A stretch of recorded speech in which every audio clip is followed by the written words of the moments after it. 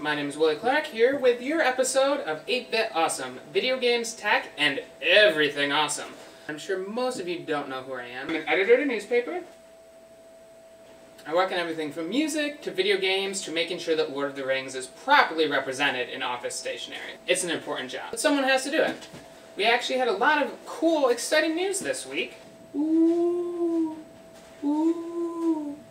Microsoft revealed their brand new console, the Xbox One, probably because they're hoping that you at least buy one, and that it will be the only one console you buy, and that you'll forget about a certain other one console, namely the PS4. Microsoft's approach to the conference was quite interesting. Instead of talking about games, which I think you normally should talk about when you're revealing a new video game console, Microsoft spent a lot of time talking about other things, like Kinect. No, not Kinects. Kinect. They're fancy, gesture, motion-based, fantasy, minority report type thing. Yeah, I wasn't super impressed either. They also touted some impressive numbers of rolling out over 300,000 new servers, which now means that there'll be a lot more servers for 12-year-old boys to call your mama fat on. She isn't fat. Tell her I'm sorry. And in attempts to block pirates, arr, I don't have any pirate toys on my desk. Arr, the system technically doesn't really always have to be online, but pretty much always does have to kind of be online, but doesn't have to be online when it doesn't have to be online. Anyways, Microsoft failed to show off that many games, except a brand new fancy racing game, Putt Putt Goes to Forza. Steven Spielberg also made a brief videoed-in appearance to talk about his work on the new Halo TV series, which is sure to keep a lot of people excited, though I doubt it will be anywhere as good as Red vs. Blue. At least it can't be anything like E.T.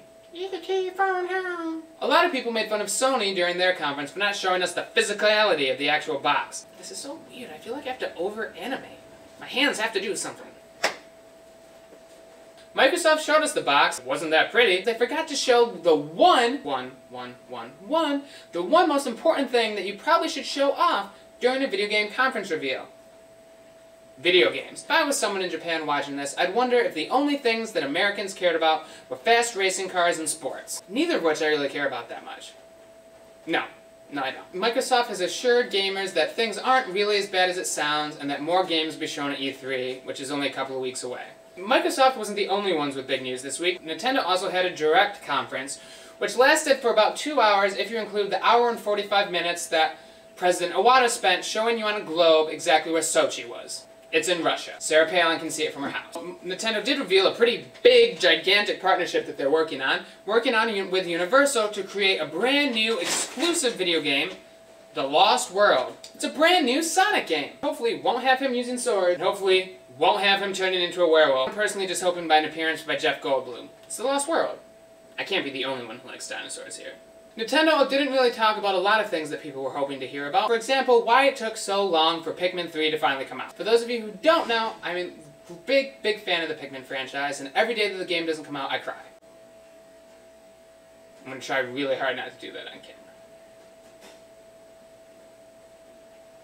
On Bread Nintendo News, I promised to talk to you guys a little bit about the brand new Nintendo 3DS game I've been playing this week, Animal Crossing New Leaf. For those of you who haven't played Animal Crossing, it's actually a really hard game to try to explain to people. You fish. I stole this from my cat. Pay all your bills. Make it rain. For some reason, when you add them all up and together into Animal Crossing, it becomes a game that completely destroys my soul. City Folk was a disappointment for some.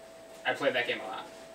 It comes out on June 9th, but I wanted to give a chance for you watchers to send in questions. Leave questions about the game in the comments down here. Keep your eyes up here, but type down there. Been a lot of fun so far, and I kind of want to go back and play it right now. That's it for our very first episode of the 8-Bit Awesome vlog, but I'll be back next week. Rocket Internets.